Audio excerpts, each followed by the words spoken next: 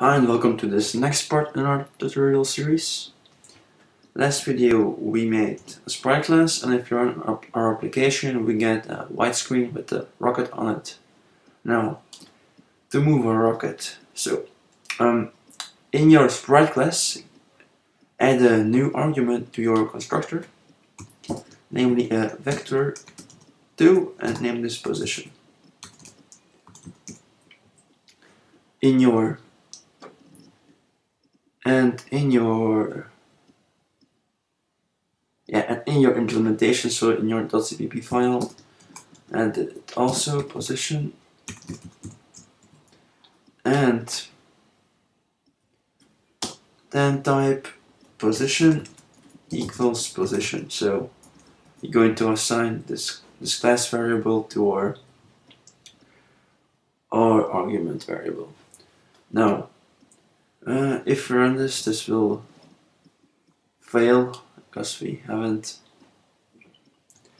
because we're using a wrong structure now. So to move our rocket, say we, we want to to move it like 50 pixels to the right. So let's create a new vector for that, uh, vector 2, uh, rocket position, yeah, rocket positions rocket position and then rocket position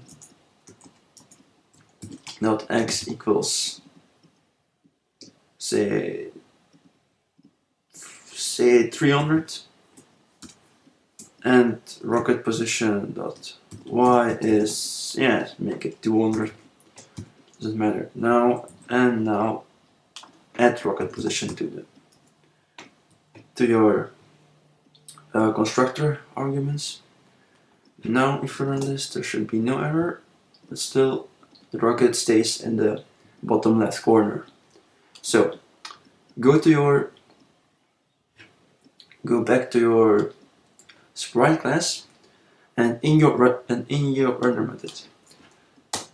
So there's a function uh, OpenGL function called gl translate and translate f. And this takes three arguments, so one for the x, the y, and the z.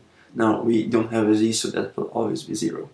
But for the y, so for the x, so type position dot x in the y type position dot y and the z type zero.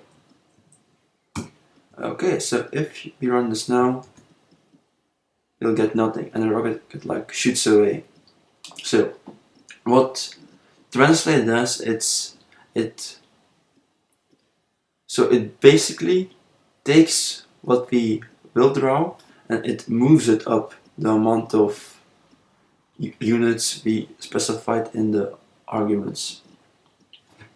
So but now every time it keeps translating. So every time we render it it moves it again for 300 pixels and 200 pixels. So to fix that we have to reset the, the transformation every time we render. And to do that we call the function called gl load identity. And what this does, this well basically resets the, the transformation.